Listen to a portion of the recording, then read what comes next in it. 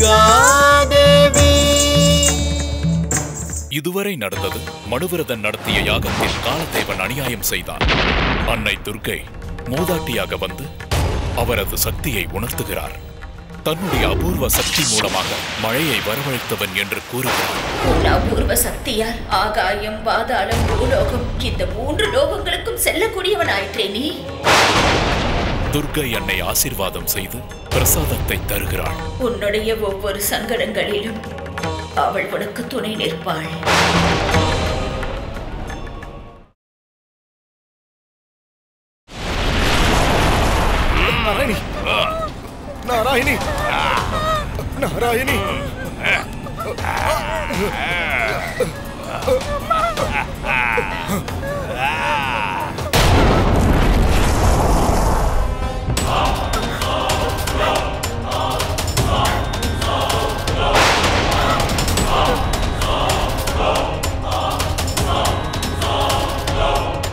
கடைசியாக உங்களுக்கு ஒரு வாய்ப்பு தருகிறேன்.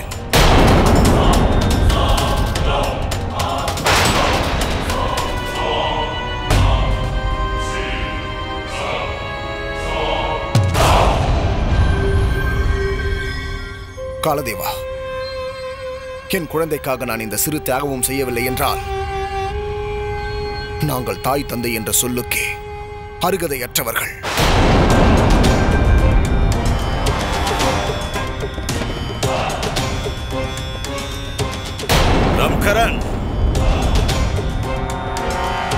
கொதித்துக் கொண்டிருக்கும் எரிமலைக்குள் அவர்கள் இருவரையும் தள்ளுங்கள்.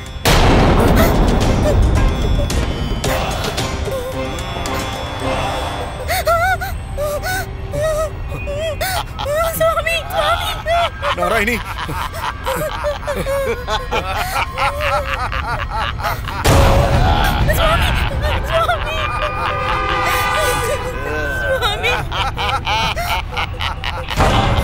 என் குழந்தையை காப்பாற்றுங்கள் தாயே. எங்களை காப்பாற்று எங்களை காப்பாற்று தாய் துர்கையை கருணை காட்டு கருணை காட்டு தாயே. என் குழந்தையை காப்பாற்று தாயே. தேவி துர்கா உன்னை தவிர வேறு கதி இல்லை தாயே. எங்கள் குழந்தையை காப்பாற்று.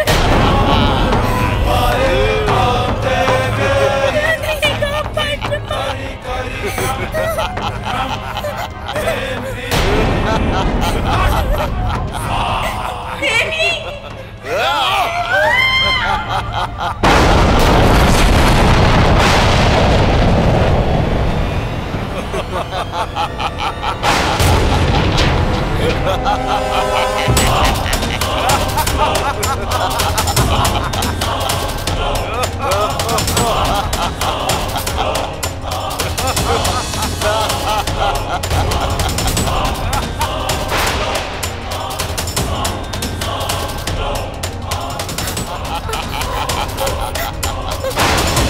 அன்னை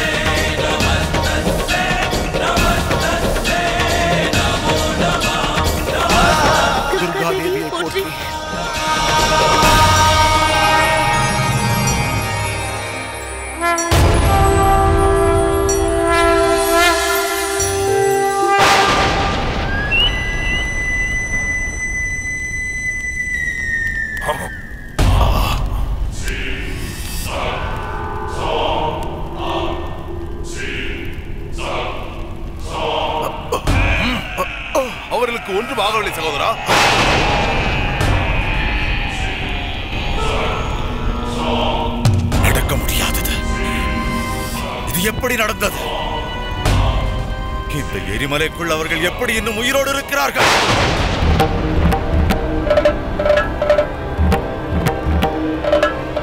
எந்த தேவனோ அவர்களுக்கு ஆபத்தில்லாமல் பாதுகாத்துக் கொண்டிருக்கிறார்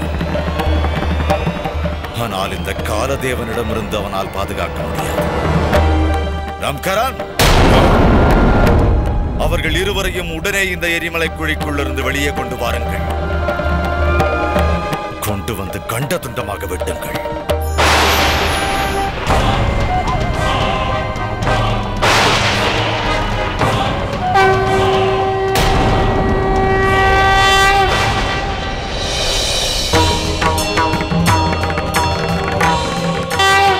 यो देवी सर्वभूतेषु शक्तिरूपेण संस्थिता नमस्तस्यै नमस्तस्यै नमस्तस्यै नमो नमः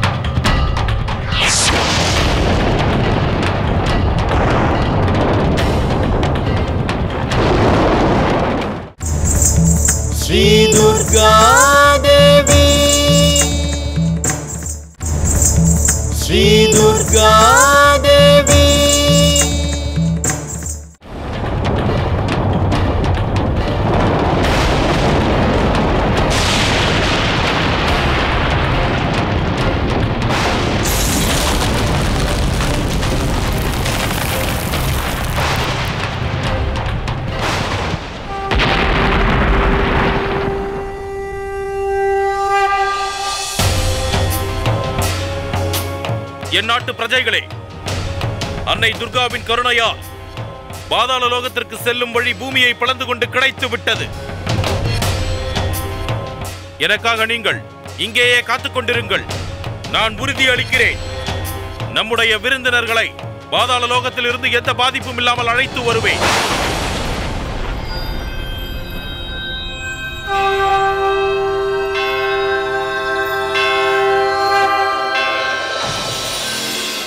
மகாராஜா மனு விருது. மகாராஜா மனு விருது. மகாராஜா மனு விருது. மகாராஜா மனு விருது.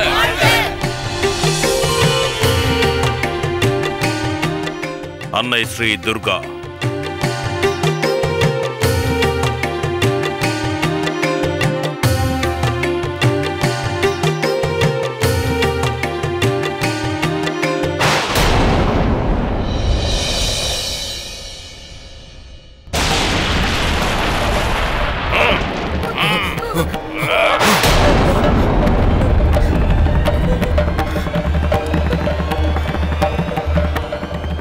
காலதேவா உன்னுடைய சாபத்திலிருந்து நீ தப்பிக்க வேண்டும் என்றால் அதற்காக என்னிடம் ஒரு நல்ல யோசனை உள்ளது. என்னுடைய யோசனைப்படி நீ நடந்தால் நிச்சயம் சாப விமோச்சனம் உனக்கு கிடைத்துவிடும். அது என்னவென்றால் உன்னுடைய அசுரத்தனம் அகந்தை அகங்காரம் மமதையை அழித்துவிட்டு தர்மத்தை நீ ஏற்றுக்கொள்ள வேண்டும். நீ நிறைய பாவங்கள் செய்துள்ளாய். அதன் காரணமாகத்தான் நீ இந்த சாபம் பெற்றாய். செய்த தவறுக்கு வருந்தி அதற்குண்டான பிராயச்சித்தத்தை செய். அகங்காரத்தோடோ அதர்மத்தின் வழியிலோ நீ நடந்தால் என்றுமே உனக்கு அன்னை துர்கையின் அருள் கிடைக்காது. பிறகு முக்தி எப்படி கிடைக்கும்? தர்மத்தின் வழியில் நீ பிராயச்சித்தம் செய்வாயேயானால் உனக்கு கிடைத்த சாபத்திலிருந்து நீ விடுதலை அடைவாய். உனக்கு உயிர் பிச்சையும் கிடைக்கும். கார்த்தியாயனரே!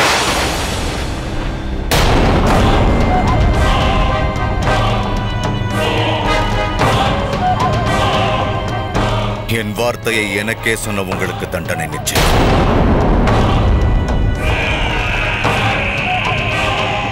அதை நீங்கள் அனுபவித்தே ஆக வேண்டும்.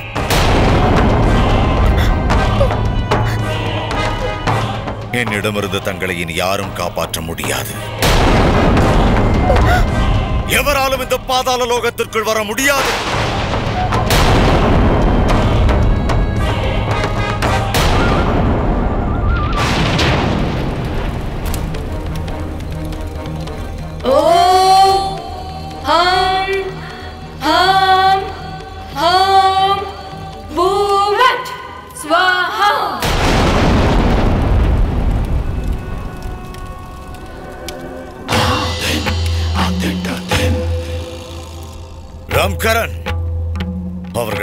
துண்டு துண்டாக வெட்டி எறிய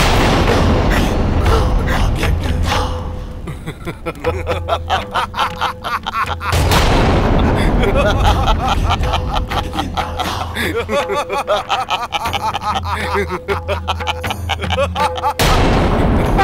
ha ha ha!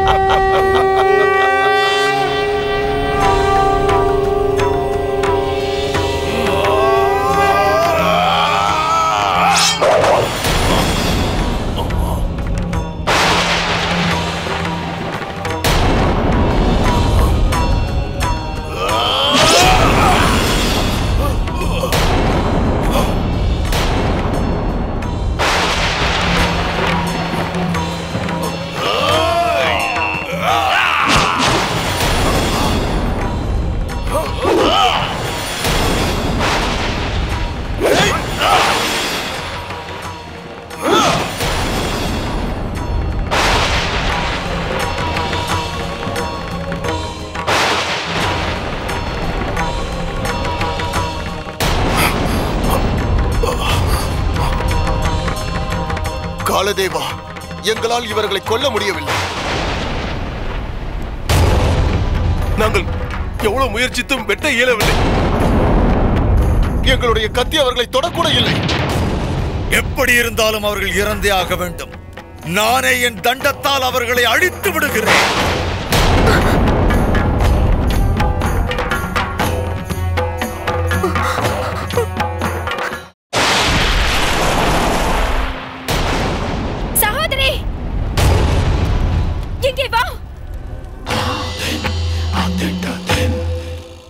என்னவாயிற்று தனு கார்த்தியாயனரும் அவரது பத்தினி நாராயணியும் இன்னும் எப்படி உயிரோடு இருக்கிறார்கள் என்பதை இப்பொழுது நான் உனக்கு காட்டுகிறேன்.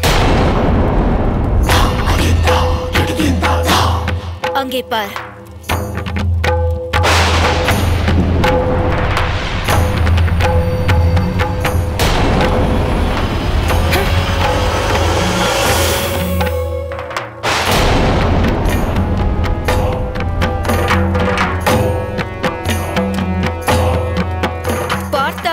சகோதரி திதி. அவர்கள் சரீரத்தில் இருக்கும் அனைத்து சக்கரங்களும் உயிரோட்டத்துடன் இருக்கிறது. அந்த சக்கரங்கள் மூலமாகத்தான் அவர்கள் பிரகாசிக்கிறார்கள். அதன் காரணமாகத்தான் அவர்கள் உயிரோடு இருக்கிறார்கள். இப்பொழுது நாம் என்ன செய்ய வேண்டும்? வா என்னுடன். அதை நான் உனக்கு கூறுகிறேன்.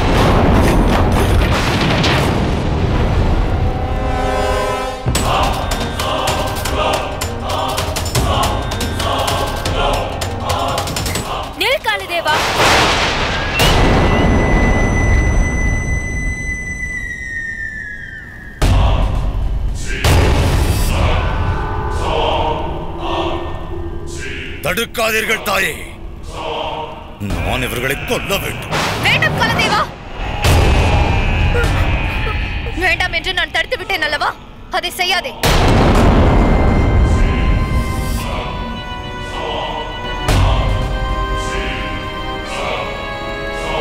நீ இவர்களை கொல்ல முடியாது. ஏனென்றால் இவர்கள் சக்தி வாய்ந்த தம்பதியர்கள். நீ இவர்களை எந்த விதத்தில் தாக்கினாலும் அதனால் குறைய போவது உன்னுடைய சக்திதானே தவிர இவர்கள் இருவருக்கும் எந்தவித பாதிப்பும் ஏற்படாது.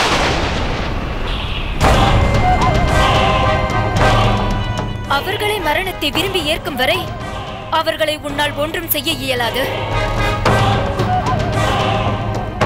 இவர்களும் உன் தந்தை கசியவர் போல் சித்தர்கள்.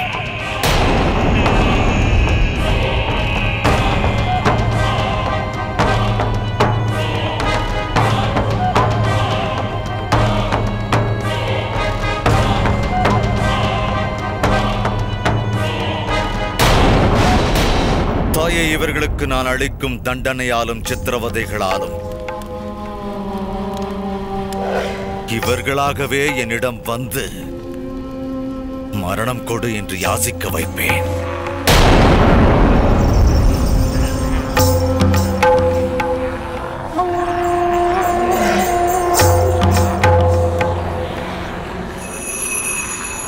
இவர்கள் இருவரையும் இழுத்துச் சென்று சிறையில் அடையுங்கள். இவர்களுக்கு நீங்கள் கொடுக்கும் சித்திரவதையில். அது தாங்க முடியாமல். இவர்களாவே என்னிடம் வந்து மரணத்தை தாய் என்று வேண்ட வேண்டும்.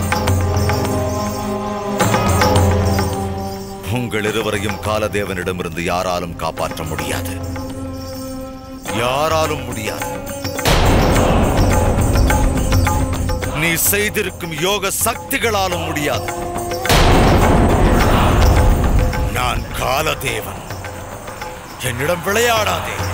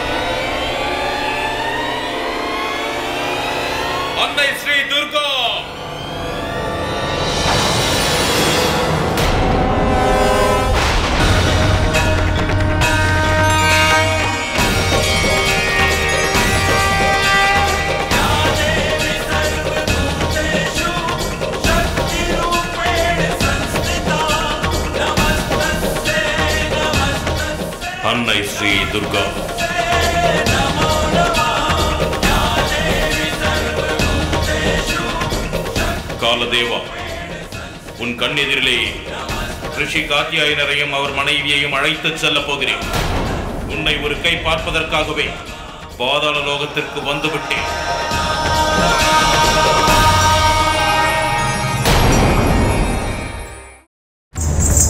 ஸ்ரீ துர்கா தேவி. ஸ்ரீ துர்கா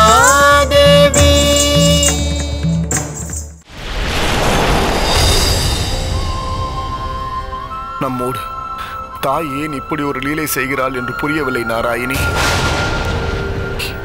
இது வேண்டாம் என்றுதான். நாம் இல்லற வாழ்க்கையை துறந்துவிட்டு இமயமலையின் குகைக்குள்ளே மோட்சத்தை நோக்கி தவம் இருந்தோம். ஆனால் இன்று அசுரனின் சிறைச்சாலையில் அடைப்பட்டு கிடக்கிறோம். ஆமாம் சுவாமி.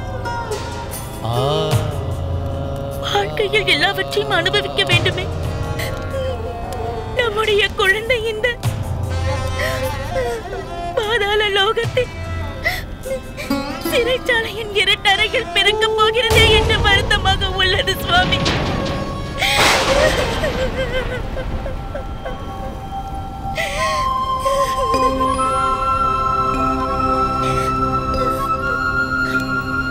தேவி வெளிச்சத்தின் ஜனனம் இருட்டில்தான் உதயமாகும். நாம் ஏன் இதை அப்படி எடுத்துக்கொள்ளக்கூடாது? நாம் இருவரும் இன்று எந்த ஆபத்துமின்றி உயிர் வாழ்கிறோம் என்றால் அது நம் குழந்தையின் காரணமாக கூட இருக்கும். நம் குழந்தை உன் கருவுக்குள் இருந்து கொண்டே தாய் தந்தையை காப்பாற்றுகிறது. அப்படிப்பட்ட அந்த குழந்தைக்கு நம்மால் எந்த ஆபத்தும் ஏற்பட்டுவிடக் கூடாது.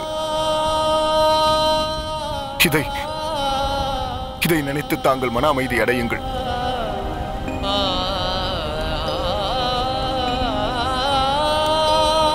நான் சொல்வது சரிதானே?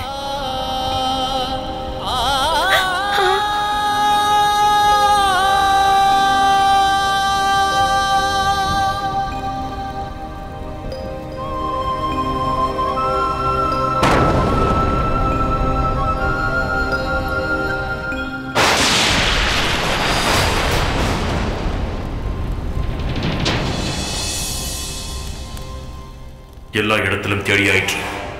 ஆனால் ரிஷி காத்தியாயனரையும் அவர் மனைவியையும் காணவில்லையே ஒருவேளை காலதேவன் அவர்களை இல்லை இல்லை அப்படி நடக்க வாய்ப்பில்லை. இன்னும் நன்றாக தேட வேண்டும்.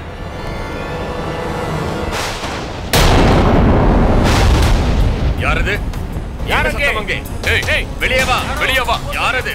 யாரங்க யாரங்க வா வெளியே இருக்கிறார்கள் யார்? என்று கேட்கிறான் அல்லவா? வெளியே வா. வெளியே வா. வெளியே வா என்று கூறுகிறேன். வாருங்கள். யாரங்க? சீக்கிரம் வாருங்கள். ஏய் வாருங்கள். யாரங்க?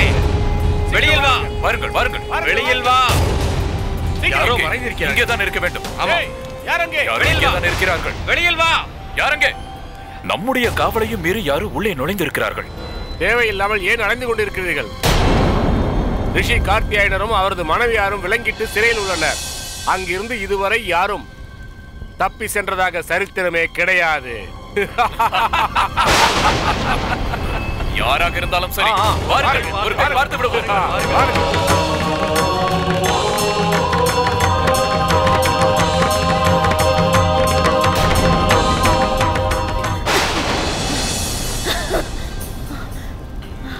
சுவாமி எனக்கு மிகவும் தாகமாக உள்ளது சுவாமி.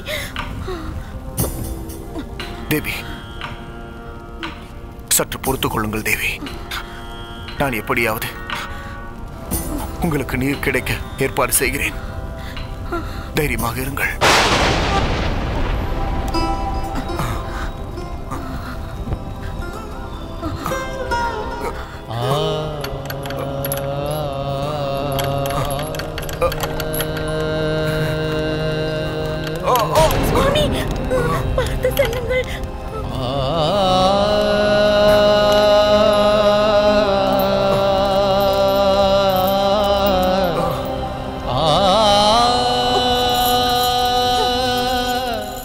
யாராவது இருக்கிறீர்களா? எங்களுக்கு நீர் நீர் வேண்டும். என் குரல் உங்களுக்கு கேட்கிறதா? நீர் கொடுங்கள். தருகிறேன். நீரும் கிடைக்கும். போஜனமும் கிடைக்கும்.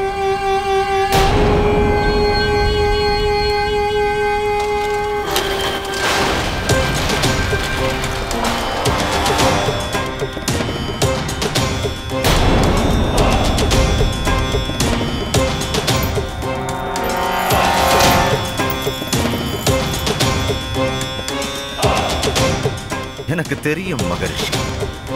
தங்களுக்கு பசியும் தாகமும் எடுக்கும் என்று எனக்கு தெரியும். அதனால் தான் நீரை நானே எடுத்து வந்திருக்கிறேன். பாதாள லோகத்து நீர். ஏன் நின்று கொண்டிருக்கிறாய்? ரிஷிக்கு பாதாள லோகத்து நீர் கொடு. உங்களுக்காக அறுசுவை உணவும் தயாராக இருக்கிறது. ஆனால் நீங்கள்? சரி பரவாயில்லை விடுங்கள். இன்றில்லாவிட்டாலும் என்றாவது குடியுங்கள். முதலில் இந்த நீரை என் மனைவிக்கு கொடுக்கிறேன். இல்லை இல்லை இல்லை இல்லை இல்லை இல்லை. பொறுங்கள் ரிஷி. முதலில் தாங்கள் அருந்துங்கள். பிறகு தேவியாருக்கு நானே கொடுக்கிறேன். தங்களுக்கு என் கைகளாலேயே நீரை வார்க்கிறேன். அருந்துங்கள்.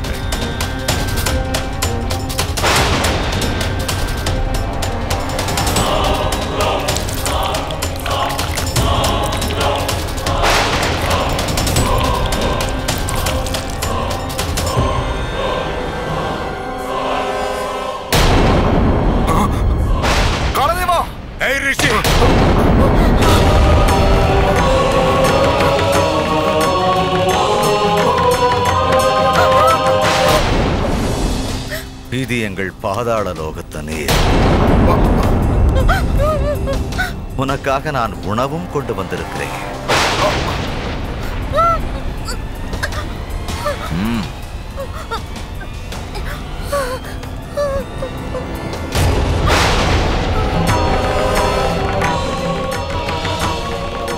வேண்டாம் வேண்டாம்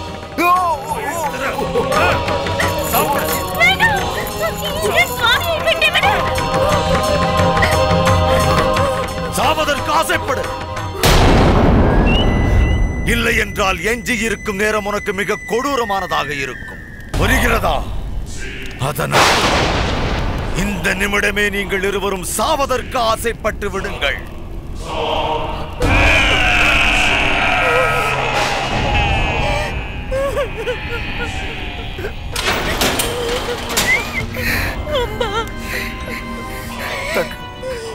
தங்கள் தாகத்தை என்னால் தீர்க்க முடியவில்லை தேவி.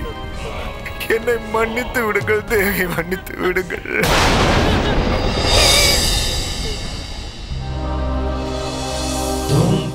மகரிஷி தங்களை என் தாய் தந்தையராய் நான் ஏன் தேர்வு செய்தேன் என்று தெரியுமா? காரணத்தை சொல்கிறேன். அதற்கு சில நல்ல குணங்கள் தேவை. அவைகள் தியாகம் தவம் சமர்ப்பணம். அதோடு அன்பு. ஒரு தாய் தந்தையருக்கு இருக்க வேண்டிய அத்தனை நற்குணங்களும் உங்களிடம் உள்ளன. அதனால்தான் நான் தங்களை என் பெற்றோராக தேர்வு செய்தேன். நான் உங்கள் இருவரையும் மகளாக வணங்குகிறேன்.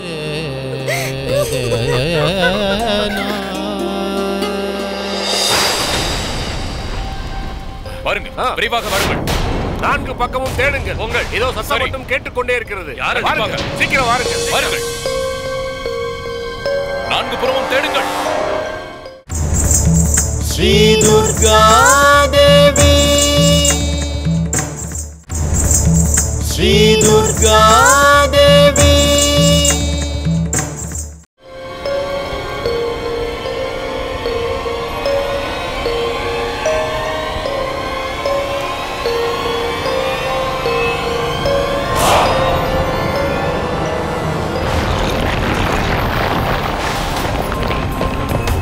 இந்த பாறாங்கல் ஏன் திடீரென்று அசைகிறது? நமது குகைக்குள் யாரோ நுழைந்திருக்கிறார்கள். அவர் தலை நிச்சயம் இந்த கல்லில் மோதி இருக்கும். அதனால்தான் கல் அசைந்து கொண்டிருக்கிறது. அப்படியா சொல்கிறீர்கள். அவ்வாறு நீங்கள் சந்தேகப்பட்டால் ரம் கரனிடம் இதை சொல்லி அவர்களை உடனே உதவிக்கு அழைத்து வாருங்கள். நான் உள்ளே சென்று பார்க்கிறேன். நீங்கள் போங்கள்.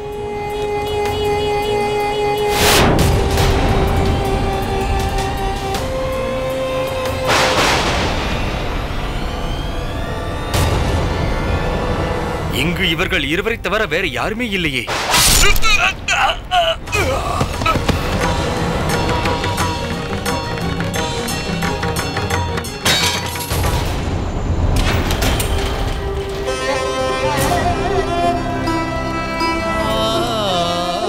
மகரிஷி.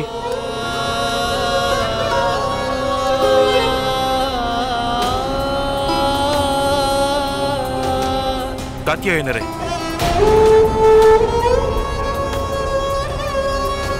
महाराजा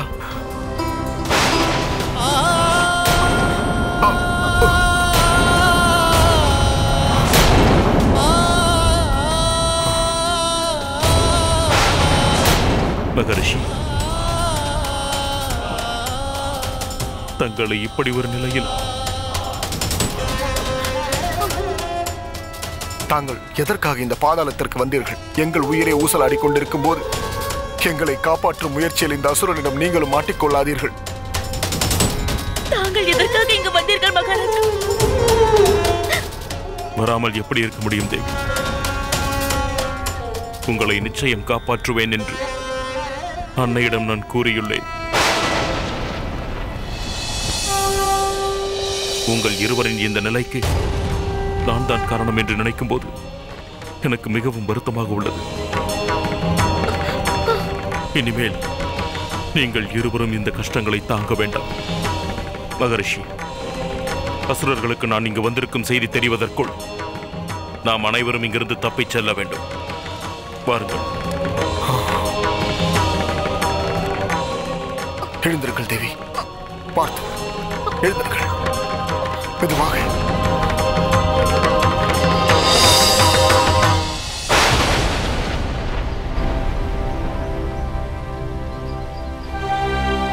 என்னவாயிற்று மகாராணியாரே? தாங்கள் மிகவும் கவலையோடு காணப்படுகிறீர்கள். மன்னரை நினைத்துதான் கவலைப்படுகிறேன் தளபதி. தேவையில்லாத சந்தேகமெல்லாம் என் மனதில் தோன்றுகிறது.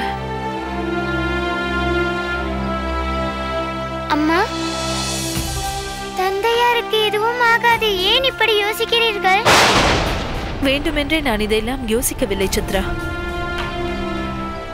தானாகவே மனதில் தோன்றுகிறது. பாதாள லோகம் எப்படி இருக்கும் என்று நமக்கு தெரிந்த விஷயம்தானே அம்மா பாதாள உலகத்தை பற்றி எனக்கு எதுவும் தெரியாது. இருந்தாலும் என் தந்தையரை பற்றி நான் நன்றாக தெரிந்து வைத்துள்ளேன். அத்துடன் அன்னை துர்க்கையை பற்றியும் நன்றாக தெரிந்து வைத்துள்ளேன். அன்னையின் பக்தர்களுக்கு கருணை காட்டுவாள் என்பதும் தெரிந்து வைத்துள்ளேன்.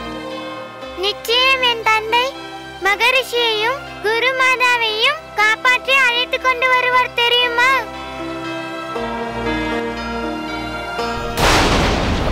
பாருங்கள்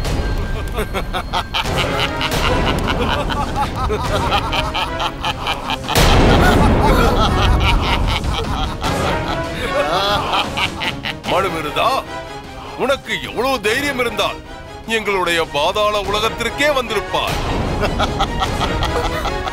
இவர்கள் இருவரையும் காப்பாற்றுவதற்காக நீ பாதாள உலகத்திற்கு வந்து விட்டாயா அது நிறைவேறாது. இன்று என்னை யாராலும் தடுக்க முடியாது ரம்கரம். நீங்கள் இருவரானாலும் சரி அல்லது உங்கள் சேனை வந்தாலும் சரி. அந்த காலதேவனே வந்தாலும் என்னை தடுக்க இயலாது. ஏனென்றால் நான் அன்னை துர்காதேவியின் ஆசீர்வாதத்தோடு வந்துள்ளேன். அது இன்னும் சிறிது நேரத்தில் தெரிந்துவிடும். மகரிஷி தாங்கள் இருவரும் சற்று தள்ளியிருங்கள். நான் இந்த அசுரர்களை பார்த்துக் கொள்கிறேன் செல்லுங்கள். அன்னை ஸ்ரீ துர்காதேவி! தேவி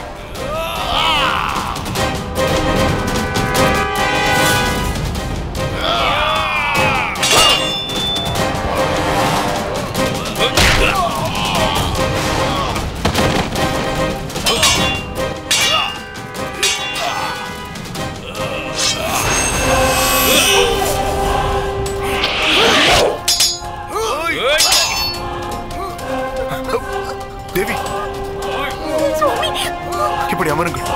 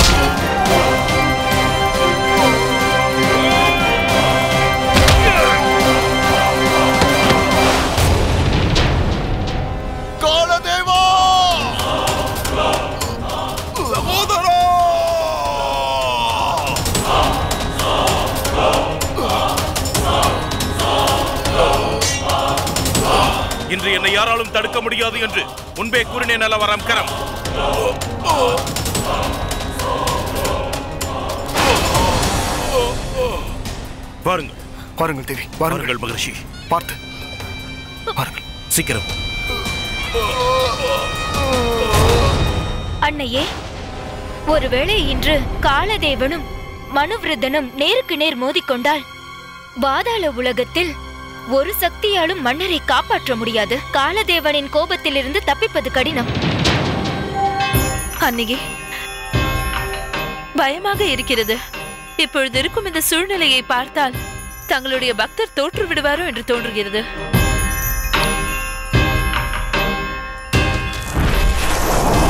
பாருங்கள் மகரிஷி பார்த்து வாருங்கள் பார்த்து ஆபத்துக்கள் நிச்சயம் வரும் பார்த்துக் கொள்ளுங்கள் சுவாமி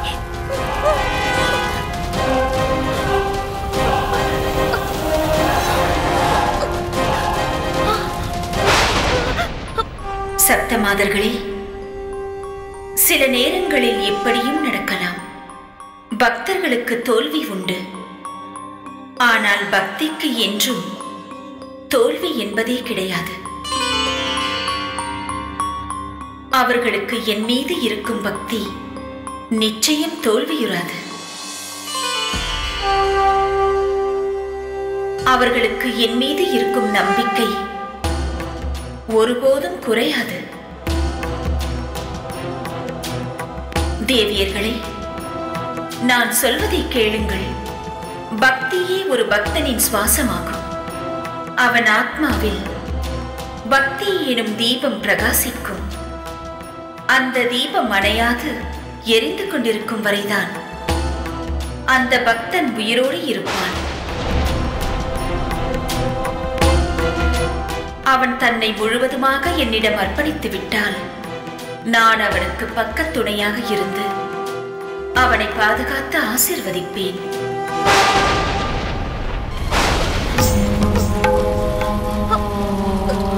ஜாக்கிரதையாக வாருங்கள் மகிழ்ச்சி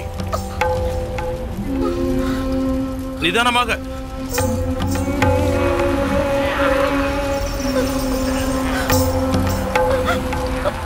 நாராயணி தேவி பார்த்து வாருங்கள்.